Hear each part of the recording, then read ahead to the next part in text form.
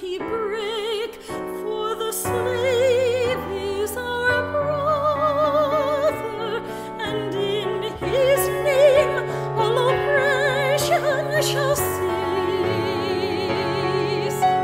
Sweet hymns of joy in grateful chorus raise we, let